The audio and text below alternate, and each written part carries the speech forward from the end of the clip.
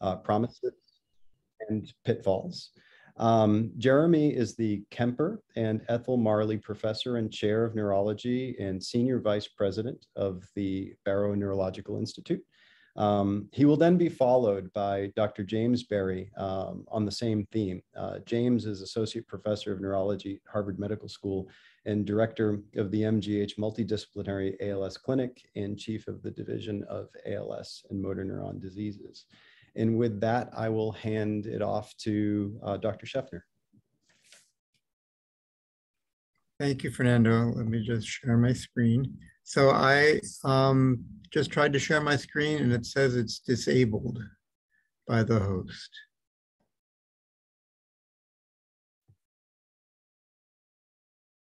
Jen, can you help? You should be all set now, Jeremy. I'm all set now, you're right. Thank, Thank you. Thank you.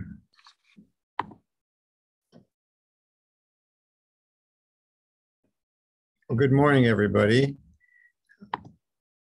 Um, it's, it's great to be here again. I'm, I'm sorry, just like I'm sure everybody else is, that we're not meeting in person.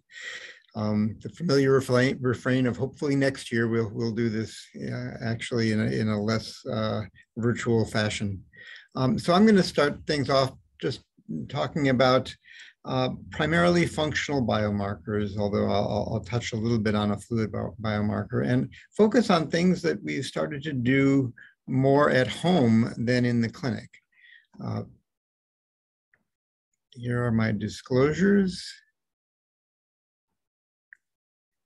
And this is a sort of a slide to set the bidding a bit uh, and just talk about where we still are in terms of what we measure in ALS clinical trials, uh, virtually always in phase three and most of the time in phase two as well.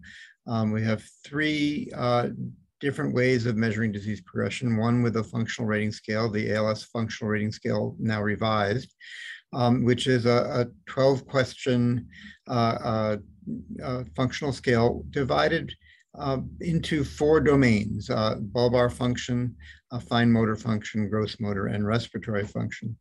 Um, this uh,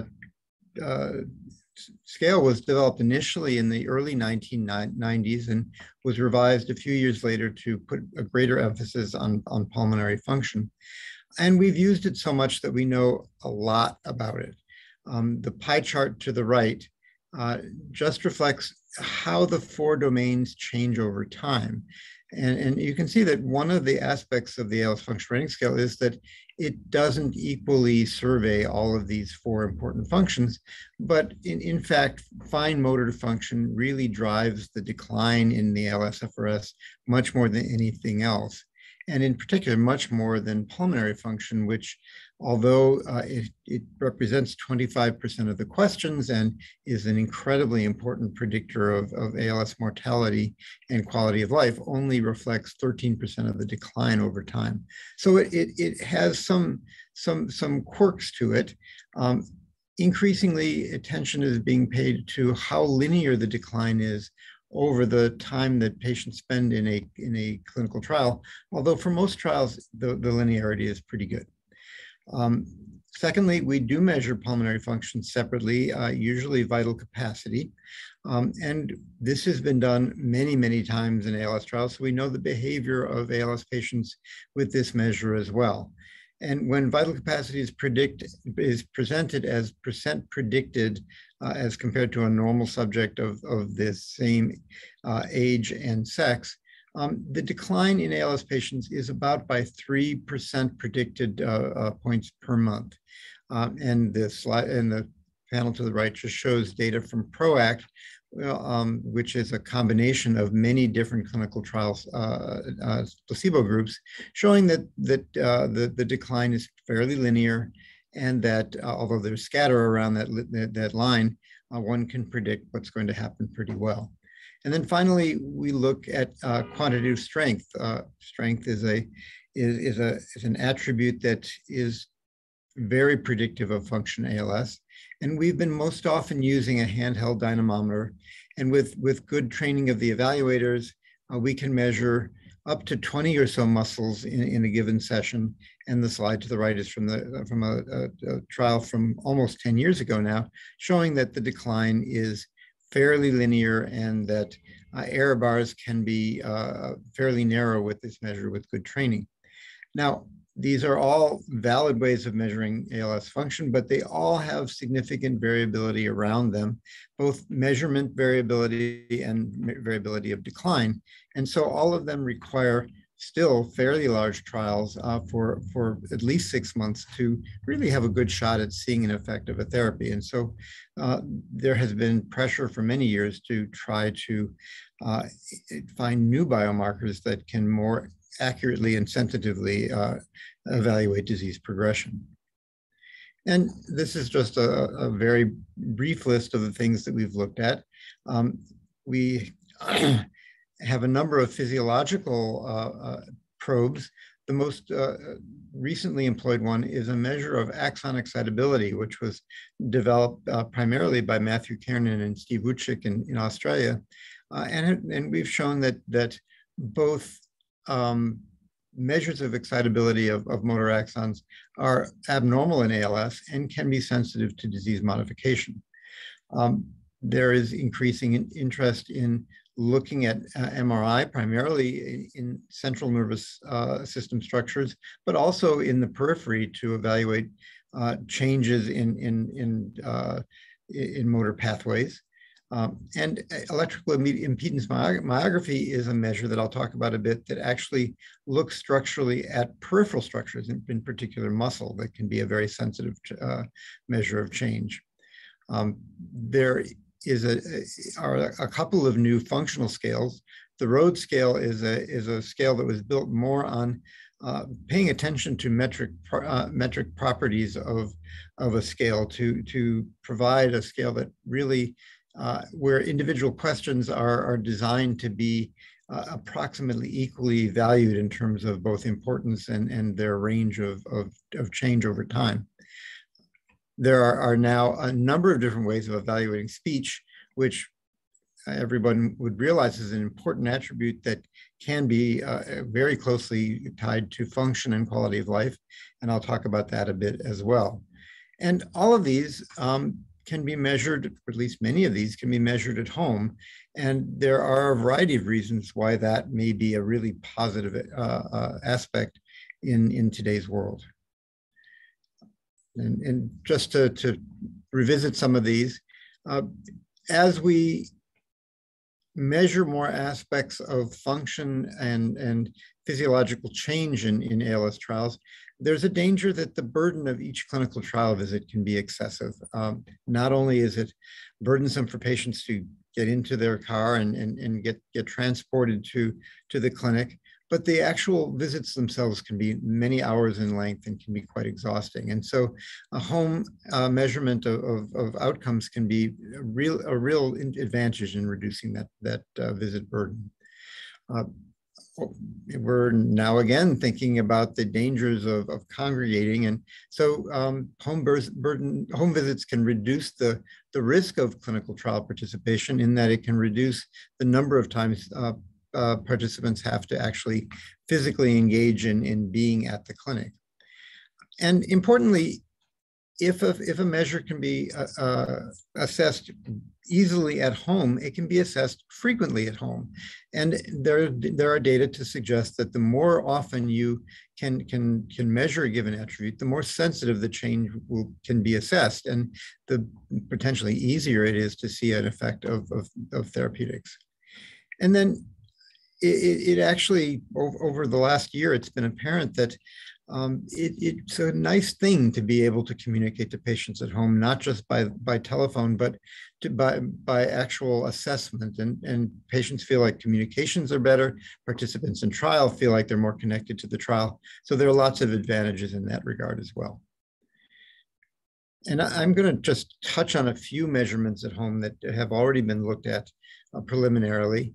But there are a whole range of ways that we can think about home measurements. And um, one important uh, uh, uh, way of thinking about things is thinking about measurements that occur passively, just in assessment of activities of daily living, and measurements that occur in a specific encounter, usually involving a specific task and potentially a specific instrument, uh, where um, the patient is, is in contact with uh, a, a, a, member of the, of the clinic staff and a, an assessment is, is, is, is obtained in a fairly similar way to the way they're done in the clinic over a, a telemedicine hookup. The passive measurements, I think, are, are, are, less well developed. They often involve activity measurements uh, that, that are measured on a, on a watch or uh, or, or, now on a ring. Um, they can also uh, measure how participants uh, impact uh, uh, uh, life with a computer so that a computer cursor can be used as an instrument of how coordination actually is affected. And then we'll talk about some active measurements in the next few slides. And so here's here's one. Uh, this is one I've talked about before, so I won't spend too much time on it. On it, uh, electrical impedance myography is a structural measure of muscle, uh, which is assessed by passing a variable frequency, very high voltage, but very low current levels through the muscle, such that the, the, the stimulus is imperceptible, and the recording is actually a passive measure of the impedance of the muscle. And on the left-hand side, um, a, a, healthy mu muscle is, is, is, is cartoon there. Uh, a, a, sinusoidal uh, uh, stimulus is presented, and the impedance of the muscle creates a, a both a delay in the in the recording of the muscle and a diminution of this the the the voltage that is basically assessed at the recording electrodes. In diseased muscle, connective tissue increases and connective tissue is much more permissive to elect electrical current. And so the stimulus much more closely uh, resembles the, the, the, response. And you can see the, the, the response of phase changes in healthy participants and ALS participants in this figure. The, the entire curve of how the muscle reacts to different frequencies is different. And if you just assess one frequency or a couple of frequencies, you can look at how this changes over time. And here's a study from a, a, a 10 different sites looking at natural history of changes in, in ALS functional rating scale. And if you look at the right-hand graph at the top, the decline in 50 kilohertz phase uh, uh in, in the fastest changing muscle in over the course of, of about a year. And you can see that th these are some potential power analyses that suggest how many patients it would take to see a meaningful change for a variety of different uh, home measures. And you can see on the on the bottom right, the, these, the, the, the sample size can potentially be really decreased uh, by using uh, EIM. And now this, this is a measurement that can be assessed at home. Patients are, are quite good at learning how to use this and the device is, uh, is a handheld device. So this is potentially something that can be looked at at home and is, is being looked at, at a, in a variety of, of natural history studies, uh, but although not yet in clinical trials. We're also getting much better at looking at pulmonary function. This is just a, a picture of a, a, home spirometry device that is quite inexpensive and can be just sent to a, a participant in a clinical trials home or a patient in a clinic uh, of a clinic. Um, and um, over the last couple of years, uh, we've developed a number of training uh, uh, uh, uh programs to, to actually assess this at home in a quite reliable way. This just looks at like at the relationship between vital capacity assessed in a standard in-clinic visit and vital capacity assessed in a televisit. Um, and you can see that, that just for a single uh, measurement, the, the correlation is actually very, very high, that, the measurements are very similar to each other. Uh, the slope is, is essentially one, which means that the, the, they're assessing the vital capacity with very similar estimates, and the variability is actually quite good. We're using this now in, in the platform trial, and we'll be able to compare vital capacity over a very significant uh, segment of time uh, assessed in clinic and assessed at home and we'll be able to tell how much uh, the information is degraded or, or, or whether we can just as easily measure vital capacity in this way going forward. I'd like to spend a couple minutes talking about speech. Um, there are a number of, of different ways of, of analyzing speech. Uh, the Aural Analytics is, is, a, is a, a, small company that has developed a very sophisticated speech app that can be installed on either an iPhone or an Android phone and assesses a, a host of different attributes of speech, uh, including motor aspects, rate of speech, artic articulatory precision, use of consonants, as well as the cognitive aspects of speech. Uh, and and are, we're in the process of now of using this as an exploratory me uh, measurement in clinical trials to see both how reproducible these kinds of measurements are, how reliable patients are at measuring these attributes at home, and, um, and to, to correlate changes in speech with changes in other things that we know occur in ALS. Um, this is, is a slide looking at patients who are more rapidly declining and patients who are more slowly declining, the individual sort of jagged lines are uh, representations of each each each line is is an individual patient. And you can see how some patients over time have, have participated and, and pr provided a lot of data. And you can see that the decline is is significant over a, a few month period. Um, and then uh, and, and that we can distinguish between patients who are rapidly progressing with respect to speech function and those that are declining much more slowly. In terms of connecting speech attributes to different measurements that we're more familiar with, this is a correlation of a prediction of the ALS functional rating scale single question on speech which varies from zero to four, zero meaning no function, four implying normal function.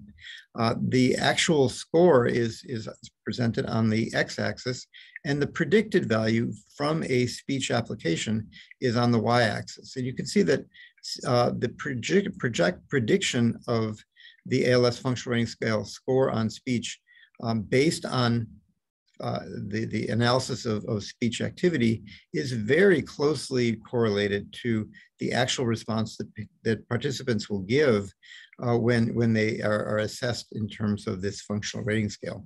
So there's a good correlation between function as perceived by, by an individual ALS participant and uh, function as perceived by a, an objective speech application.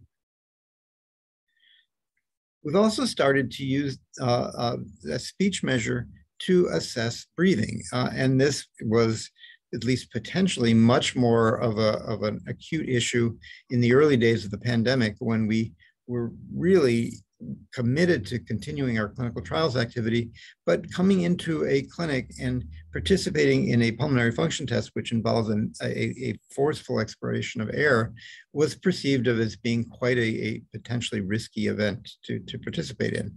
And so we worked to try to see whether we could predict with a, a, an application as part of the speech app to, to see if we could predict vital capacity. And the, and, the, and the attribute that seemed to be the most clearly correlated was a measurement of sustained phonation, where you'd ask a, a participant to take a deep breath and just go ah for as long as they could. And using that, we tried to predict what the vital capacity would be. Um, this is some data of uh, both longitudinal participation in sustained phonation on the bottom of these, these, these uh, five cur curves and actual measurement of vital capacity on the top. And you can see that these are very frequently obtained measurements. You can see that, that the, the decline in uh, um, phonation time and the decline in vital capacity really closely mirrored each other in these five patients. And, um, and when people were very good at, at, uh, at, at, performing one of the tasks, uh, vital capacity, in, in, that the error bars are very narrow. The error bars are also narrow in um, minimum in, in, phonation time. Looking at um, just the, the, the, point estimate of predicted uh, vital capacity as measured by the, the, the, spirometer and true force vital capacity and, and, and the prediction that is is from the, the sustained phonation, you can see that the correlation is about 0.8. There's some scatter, but that we probably can use this in a pinch to predict vital capacity when necessary. And this may be important both clinically and in in a clinical trial situation.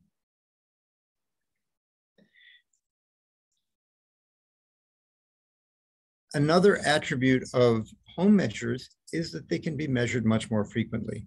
And this is just a cartoon to represent why this might be important. In a clinical trial situation, we have the, the situation on the left-hand side where we measure whatever we're measuring on a two to three month interval. And there's going to be some variability in that measurement, either variability in terms of patient performance or variability in terms of the actual performance of the, of the, the, the, the uh, measurement tool itself. Uh, one way that this might be really uh, uh, uh, ameliorated is by measuring the same attribute over and over and over again very often. In this case, the, the, the cartoon suggests every day. And you can see the cloud of, of, of data that, that uh, you might obtain in, in that situation where you're measuring the same attribute as you are on the left, but measuring them every day. And you can see that in that situation, you might expect that the error bars around the slope of decline get much more narrow, uh, implying that you could see a, a, potential clinical response much more easily. And so uh, uh, uh Seward Rutkove and, and, and, I performed a, a, natural history study where we uh, never met the participants in the study, but we consented them remotely. We sent them a number of, ana uh, of analysis tools. We trained them on, on the performance of this, and we asked them to measure their own attributes every day for three months, and then slightly less frequently thereafter for another six months. And this is just a scatter plot of some individual patients showing um, how the, the, the uh, standard error, error, bars actually decrease with more frequent assessment. Um, on the left-hand side, the attributes are being measured daily. Then we downsample to twice weekly, weekly, biweekly, and monthly. And you can see that for a number of measurements, electrical impedance myography, hand grip strength, vital capacity, even the ALSFRS, the more frequently you assess the, the measurement, the narrower the error bars get. And this is yet another way that, that home measures could be used to improve the sensitivity of our measurement. I want to change gears now and just talk a little bit about uh, a, a, completely different biomarker, a fluid marker of neurofilament light chain. Um, because, yes. May I, um, may I just, I very much apologize. I just need to let some folks in. Uh, sure. May I just reclaim host for one moment and then I'll give that right back to you? Do I do so? I'll stop sharing. I'm just, I apologize. I didn't no realize that there was, uh, I'm just going to let everyone in here. Okay. Sorry about that. I'm gonna. That's fine. It was a good. It was a good segue. Anyway. I was. I was waiting for. Okay, there you go. You should be all set now. Okay. Apologies. No worries.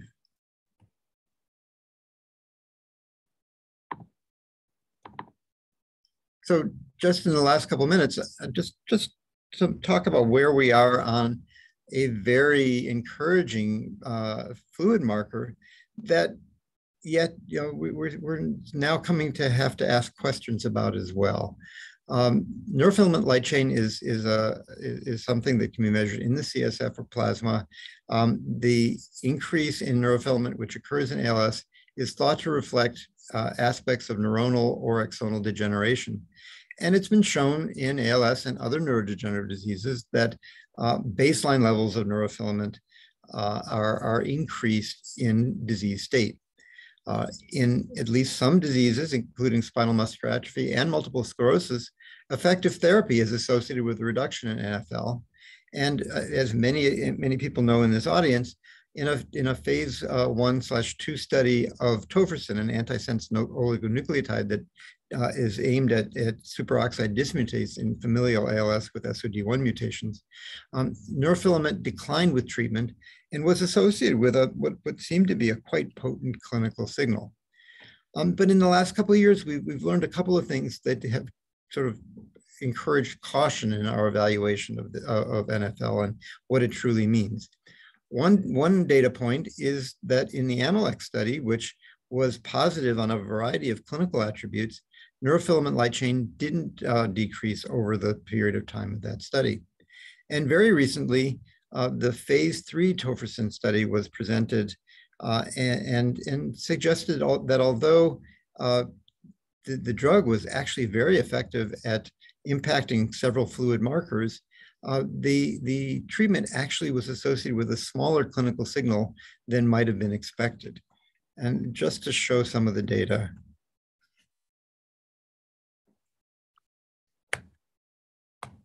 and since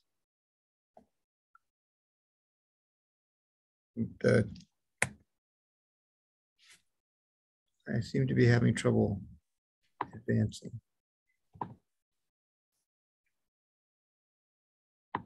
There we go. And this is just some, some data uh, about changes in, in, in, in natural history. On the left-hand side, you can see that neurofilament is increased in ALS patients as compared to control subjects. And, uh, and it can be effectively measured both in plasma and CSF. And on the right-hand panel is a graph showing that if you if you divide uh, people at baseline uh, according to, to, their neurofilament levels, higher higher baselines portend worse prognosis than lower baseline neurofilament levels. Um, and this is just uh, a, uh, uh, a data obtained uh, that, that was reported in, at the ANA by, by Tim Miller regarding the tofersen study they looked at both CSF uh, SOD1 levels on the left-hand side and, and effect on neurofilament on the right-hand side.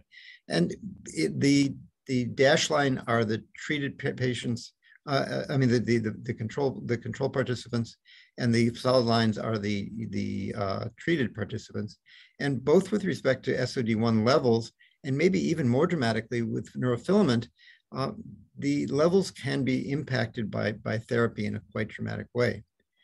Um, however, this study was also associated with, uh, although there were clinical signals that seemed to be apparent, they were fairly small. And so understanding how neurofilament predicts outcome in ALS trials is still speculative. And so um, this is just presented as a bit of a cautionary note saying that uh, although all of us want uh, uh, uh biomarkers that are easily obtained and change with, with disease progression, we still have some work to do to understand how any of these markers, even our most potentially optimistic one, neurofilament, actually predict clinical outcomes in ALS. So I'll stop there and just say that, that we have a variety of new functional outcomes that can be performed at home and may offer increased sensitivity to change in ALS. Um, that home measurement is quite feasible, um, but uh, that we have cautions in terms of especially when we're looking at at at, uh, at potential surrogates or or or, or uh, pharmacodynamic biomarkers, we're still not uh, at a point where we can accurately assess what they mean in terms of predicting clinical outcome. So thank you. Thank you, Jeremy, for the great talk. Um, at this point, I'd like to open it up uh, through the chat, the Zoom chat for questions. Um, if anybody wants to type some out now, that would be fantastic. While we wait, um, I guess, Jeremy, if you don't mind, I'll go ahead and weigh in with, with a question of my own. Um, you talk about the, the uh, increased frequency of sampling uh, being beneficial, um, especially with the, the at-home uh, data collection. Um, I wondered if, in your experience, you're finding ways to encourage uh, people with ALS to continue to, to uh, give those data, uh, to provide those over time. Are there specific techniques um, or strategies that, that you've deployed? That's a great question. Um, both you know, in, in, in studies that are just trying to look at natural history or participating in clinical trials. And the motivations, I think, are different. Um, I think this is early days. Uh, James Berry has has uh, is going to who's going to talk next has some experience in in different ways to design uh, uh, these assessments in in ways that are are are, are easy and, and motivating. Um, many people with ALS really are committed to to to doing this, and it, takes no encouragement. Mm-hmm. Um, but but for for some of these, especially the active measures, it's an investment of time, and, and so.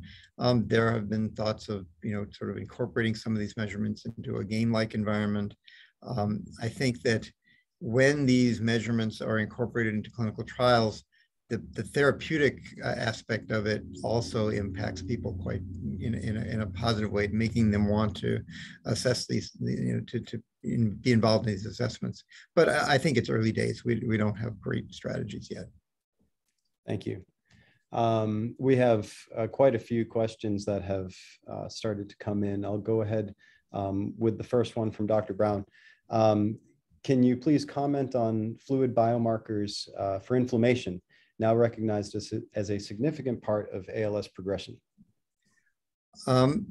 Well, I, I guess I, I, wouldn't call myself the one of the true experts of, of, fluid biomarkers, but I would say that what we know about um, biomarkers of inflammation, and there are many now, are that um, their predictive value in terms of uh, of suggesting a clinical signal are, are less are less well established than neurofilament. And so while many of these things are, are, are, very important in acting as pharmacodynamic markers and showing that target engagement has, has occurred, uh, I, I, would say that they're, they're nowhere close to serving as potential surrogates that predict a clinical outcome. Thank you. And then I think we have time for, for one more. Um, uh, a question, uh, what did we learn from the use of Munix as a primary endpoint in the Rescue ALS uh, Clene study? Um, was it a good approach, appropriate primary endpoints? So Munix is uh, a, an electrophysiologic tool in the category of motor unit number estimation, uh, which attempts to look at the peripheral component of, of ALS, uh, and, and in particular looking at the number of motor axons innervating a particular muscle being recorded from. Um, there are a variety of different methods. Munix is one of them. Uh, the advantage of Munix is that although it does require training uh, on the part of, of, of the evaluator, uh, the, there's a little bit more of an automated approach than some of the other motor unit estimate, uh, estimation tools. Uh, I think the, the, the rescue uh, ALS study um, so that, that study employed Munix as a primary outcome measure. And actually, I think that was a little bit uh, uh, uh preliminary to do that because, uh, again, it's, it's, a, it's a surrogate for motor unit loss that hasn't been validated in terms of showing how it impacts progression. Uh, but uh, people were able to, to perform this tool, this, this measurement in a pretty reproducible way. It, it, it, it suggested a signal that was roughly uh, uh, the same strength as a clinical signal. So I thought that it, it was actually quite encouraging. Um, I, I, would, because, because of the, the time required to do it, the fact that it takes a significant uh, in-clinic experience, I would say that it's probably most appropriate for phase two studies such as this one rather than a phase three outcome. But I think physiological studies of, of this kind are, are likely to be very useful going forward. Thank you very much. And we did get a number of really great questions in addition to those, but I'm going to move on um, and uh, pass the, the platform over to Dr. James Berry.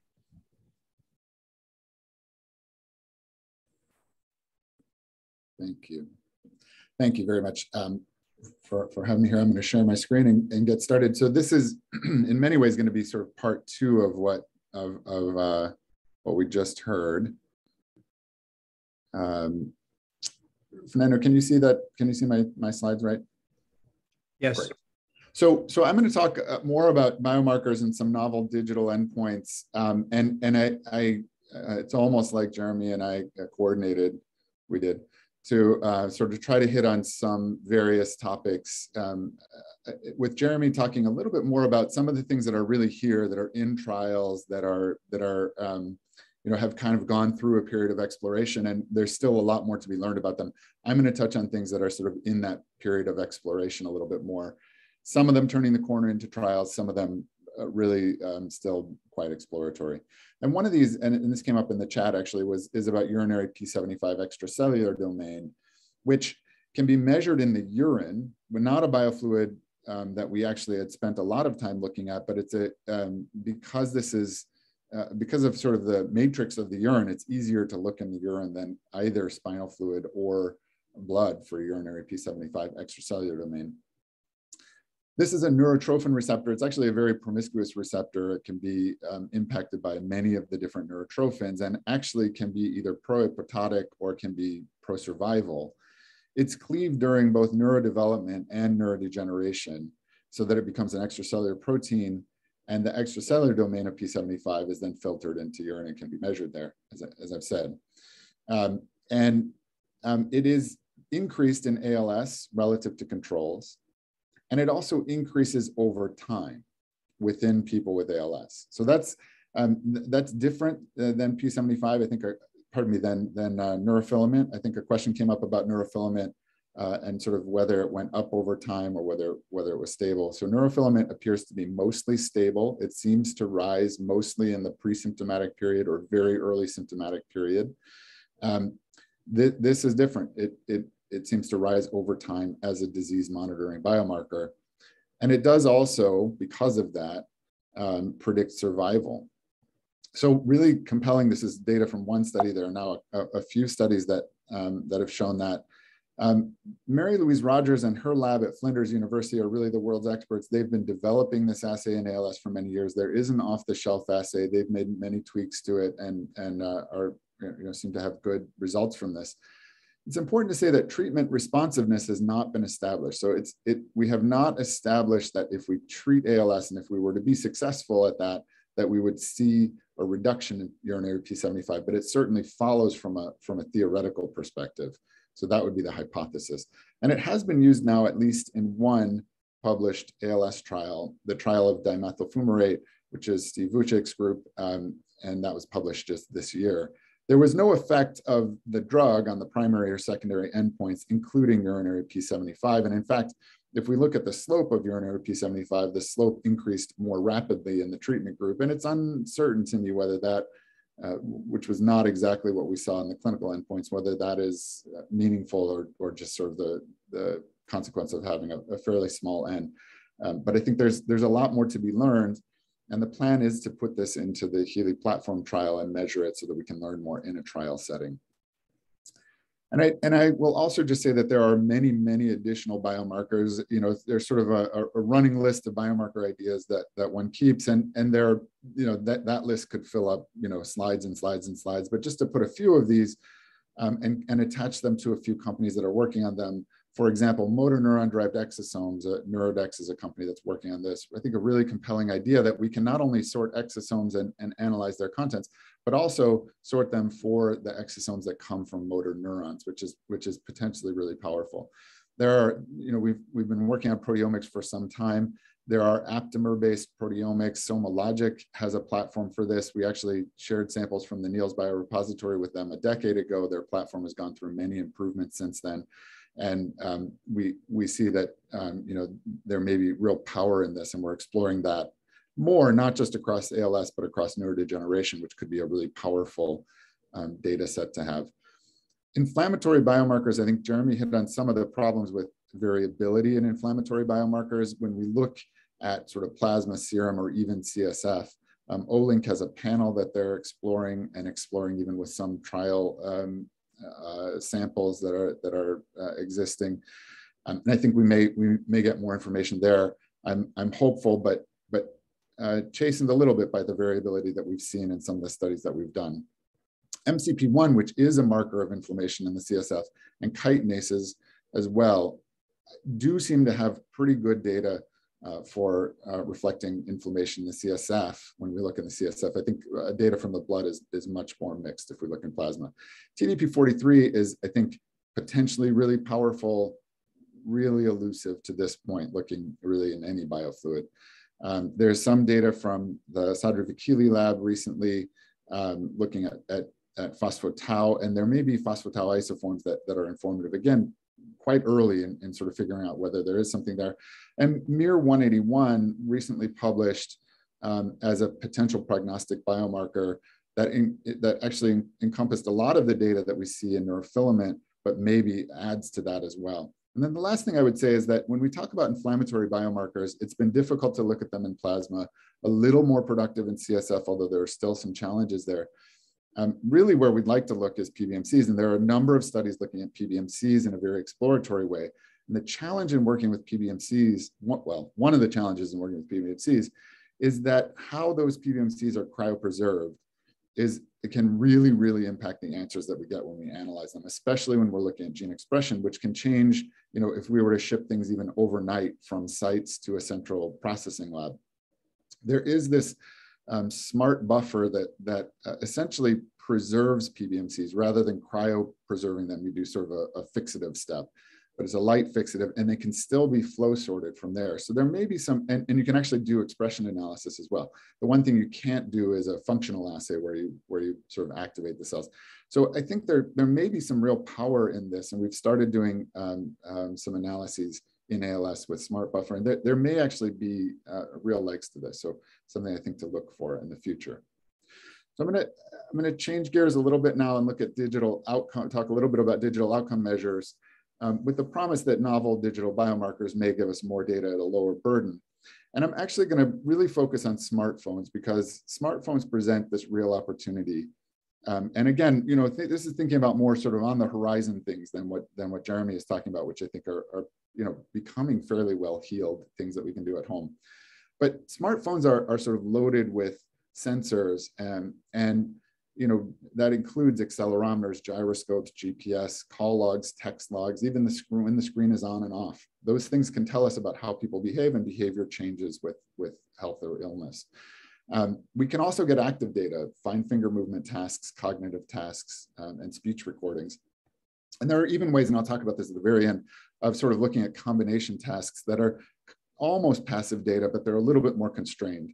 And, and one of the other things about cell phones is that we have them with us. And so these are, you know, whether these numbers are exactly right or not, they come from some survey study.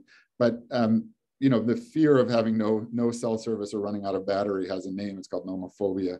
Um, and I think we can all feel in ourselves that that is a, that is a real thing. Um, and, and there are these studies that say that 90% of people have their mobile phone within arm's reach throughout the day.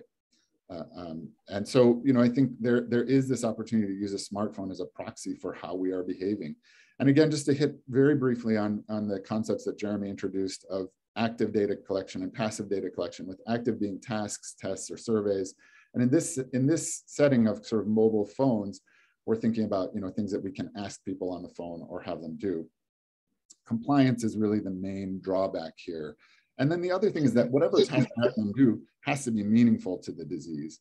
And then passive data collection is really, you know, sort of people live their everyday life. We quantify it through sensors, and the, and the unique drawback here is noise. And also that we need to use sophisticated algorithms uh, in order to analyze data, which you know we have to really have a lot of trust in. So, for example, this is what GPS data looks like from a number of participants until we apply algorithms, and then we can see that this is what the GPS looks like over time. And interestingly, this is actually from people with ALS, and you can see that there is a slight trend toward uh, people having um, moving around a little bit less as time goes along. Compelling signal. So we're doing a study that we call the symptom monitoring for ALS in real time study or the SMART study. Um, we use something called the Beiwe platform, which is uh, developed at the Harvard School of Public Health by the Onnela Lab um, and it's essentially a, a, platform that collects passive data and allows us to both make voice recordings and ask surveys on the, on the phone. Um, that data goes to the Amazon web server. Um, it's all HIPAA compliant, and there's actually, they're now building out an analytics platform as well so that it all can be analyzed in, in the cloud, which is the trend for, I think, all of these platforms. Um, we're doing, we're, we're sort of asking questions, ALSFRSR, if we can, we're getting a vital capacity, and we're asking something called the the CPIB, which I'll show you in a bit. It's about communication. Um, and we're doing that about every 12 weeks throughout participation. And we're doing surveys, including ALSFRSR, this CPIB that I, that I told you about, the ROADS that Jeremy mentioned, as well as some depression and fatigue surveys. And we're having people do various voice tasks as well, and then getting all the survey data that we've talked about.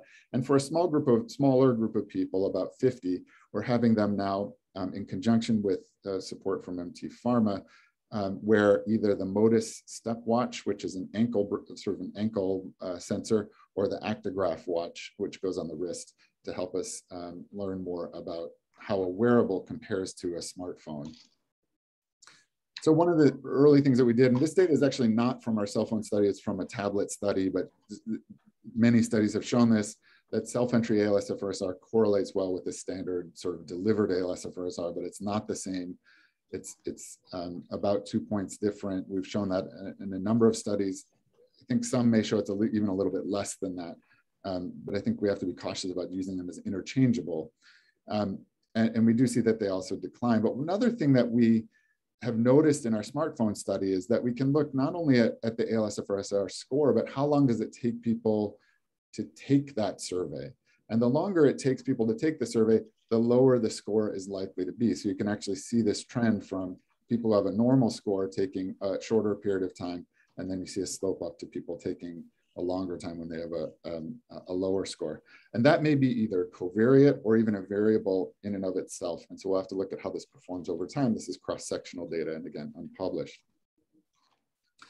So Jeremy has talked about, about some speech metrics. One of the very simplest ones is just speaking rate.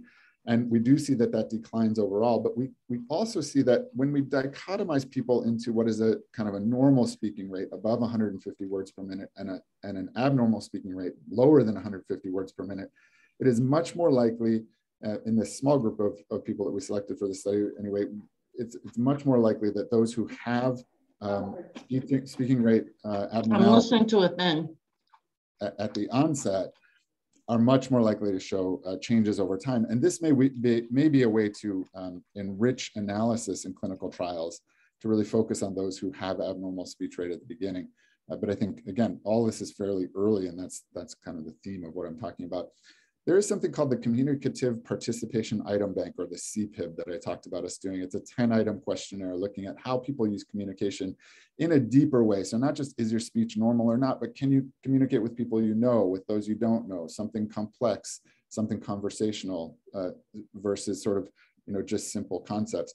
And I think we're, we're trying to use this to give some meaning to the, the motor speech metrics that we're calculating, because ultimately it's good to be able to quantify things, but we need them to have a meaning in order to make them sort of actionable or for, for regulators to, to take action on them. And so um, in this study, what we've done is looked at um, people and divided them by people who are bulbar asymptomatic, that is a speaking rate that's normal, over 150 words per minute. People who have bulbar symptoms, that is a speaking rate that's less than 150 words per minute.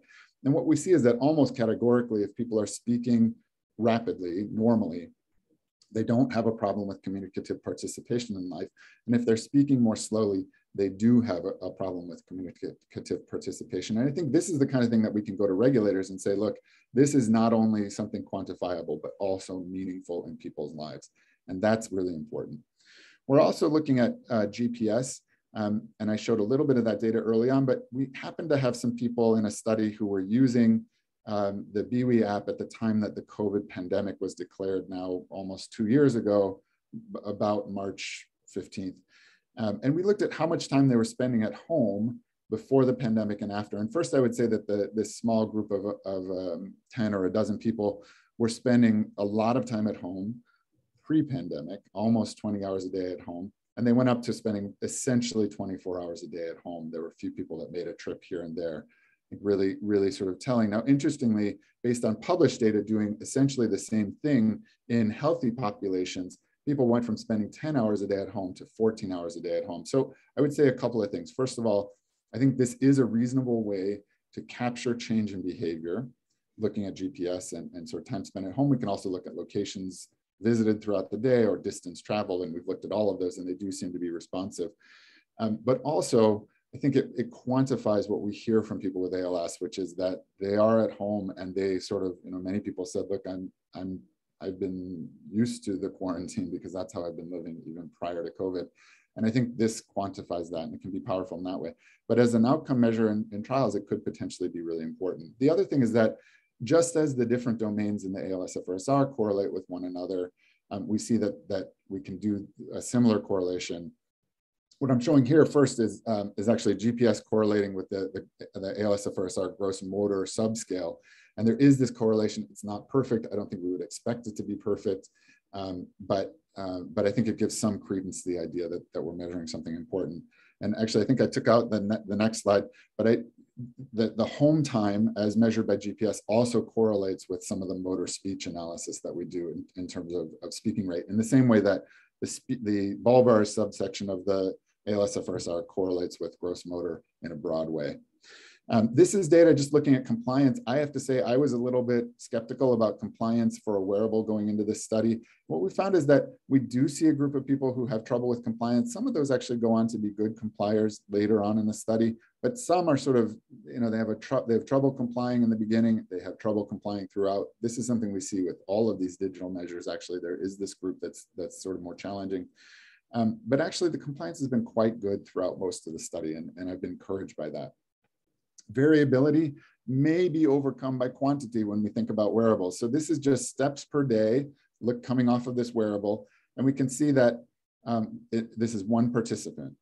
Um, we see a decline in their steps per day. And then there's something called peak performance index, which has to do with how quickly people are, are walking as well as how much of the day. And we do see this downward trend, but we also see a lot of variability. What remains to be seen is how does that variability play out? Um, and, and you know, how does this look when we when we look broadly across the study. Um, and so, you know, excited to find that out.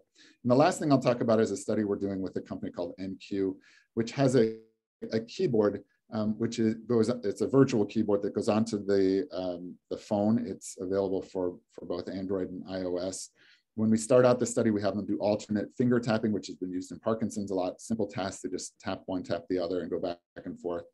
Um, and then we have them do, uh, that's sort of for a baseline task. We also have them do something we call a paragraph copy, which is using this NQ keyboard, copy a paragraph um, exactly so that we know exactly what they're doing. And what the keyboard does is log the way that they type. That is the press time on each key, the flight time between keys, the number of backspaces. It does not capture what they what they're typing, but only how they're typing it. But with a with a paragraph copy, we know sort of what they were typing. And then they go on to use this NQ keyboard just like they would use any keyboard. Um, and it, it does that same thing of logging how they type. And we get a, a tremendous amount of data about sort of how people are using their fine finger movements throughout the day. Now, this has been done in Parkinson's, and the NQ index can actually do a fairly good job of separating out people who have Parkinson's from controls. And you can see that in the receiver operator curve here. What I'm not showing, but, but they've also shown is that they can differentiate on and off states um, with uh, treatment with Sinemet. So I think what we want to know now is can it distinguish um, change over time in a population of people with ALS? And we're partway through that study, and, and I find it to be quite quite interesting. So huge amount of work from many, many partners in all of the studies that we show. And um, again, this is, you know, some of this is sort of further afield than what Jeremy talked about, but exciting, I think. Thank you, James. That was fantastic. Well, massive, you have a lot of irons in the fire. Um, really excited to see how that uh, all plays out. Um, I have one question first while we wait for uh, some more to come in through the chat. And it goes back to the very beginning of your talk, the P75, uh, urinary P75. Um, do you know if the assay somehow normalizes for hydration level? Um, does that really matter uh, in, in that endpoint? Yeah, so it does normalize for the urine creatinine, uh, and and that's sort of a yeah, that's a part of, of that assay, and I think a part of what what made it go from being kind of an interesting observation to a useful assay. Thank you very much. Yeah, that's uh, I, would wondered about that. Um, we have a question about um, uh, cytokine biomarkers and plasma and and CSF. Is that something that that uh, you're exploring, or do you know of other groups that are? Yeah, so we did a study. Um, you know, I worked with Bob Bowser and, and, we worked with some of the folks at Denali, and we looked at at um, longitudinal samples, both CSF and plasma, um, from about a hundred people, 150 people, I think, and then some of those had longitudinal. Um, and many centers had been involved in in, in uh, collecting those samples what we found is that there were a few of the of the of the biomarkers, the inflammatory biomarkers and cytokines that that were relatively reliable, IL-18, MCP1, and CSF. But by and large, we saw a lot of variability and not as much signal as we had hoped. Um, and that, you know, again, I, am that's that's played out in other studies that we've seen as well. And so I think um, we need a, you know, we need to really think about what are the best biomarkers. Chitinases look look good as well. Um, uh, and actually, Brainstorm Cell Therapeutics looked at that in their phase two trial. Um, and there have been a few observational studies that have looked at that as well. And Bob Bowser's done a lot of work there. Thank you. Um, another question um, with regard to, to the time at home and those, those interesting data, is it um, uh, adjusted for seasonality? so we haven't yet done that. What one of the things that was nice about sort of starting with that analysis that we did is that it was really looking at one season because it was all it was all looking at that time of of sort of COVID onset. When we do need when we do look at sort of um, you know ALS and how does that change over time, we will have to adjust for season. So there are there are a few things actually. There's a periodicity to our weeks that that we need to take into account. And then there is also a periodicity to seasons that we need to take into account. That gets even more complex when you think about geography because there's more periodicity in certain locations where it gets colder and less in other locations. So that's that's why we sort of decided to take a look and say, can we, in a, in a sort of proof of concept way, can we see what should be a major signal um, with COVID? And then let's look back and look at um, you know sort of ALS and and sort of see um, you know what we see in a more complex way. Thank you very much. Um, really, really fascinating uh, presentation by both you and Jeremy. Um, we'll close there um, on the, the joint presentation of new disease progression biomarkers uh,